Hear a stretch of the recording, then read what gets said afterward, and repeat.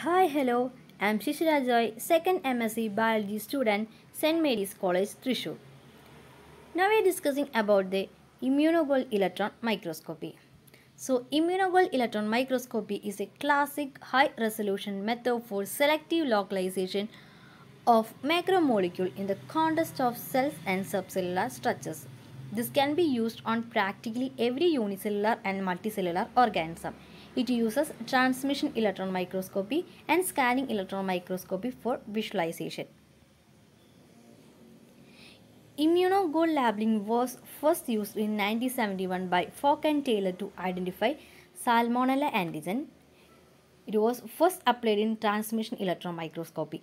In 1975, Horisberger and co-workers successfully visualized gold nanoparticles with a diameter of less than 13 nanometer and this soon became an established scanning electron microscopy technique.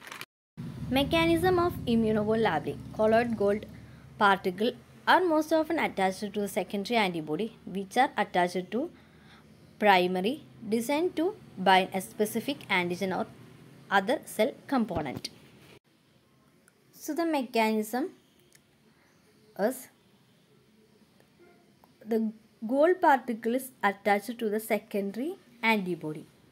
Then this secondary antibody is attached to the primary antibody. Then this primary antibody designed to bind a specific antigen or cell component. So this is the mechanism of immunogold labeling.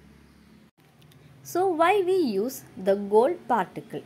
Gold particle became most reliable choice due to large specific surface area, good biocompatibility, high electron density offers easy detection.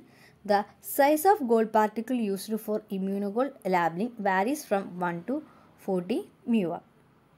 Immunogold labeling has two methods, pre-embedding method and post-embedding method.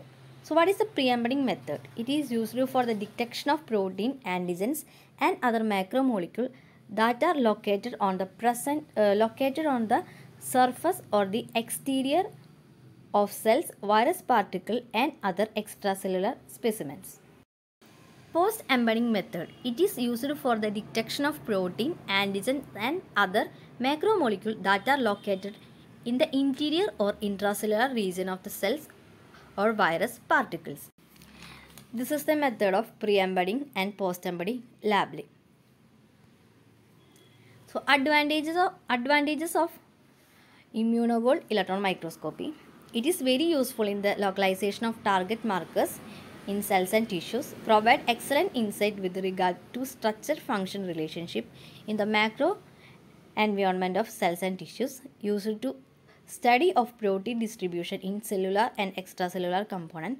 Gold probe with its excellent electron scattering property is an important element for immunohistochemistry in electron microscope. Thank you.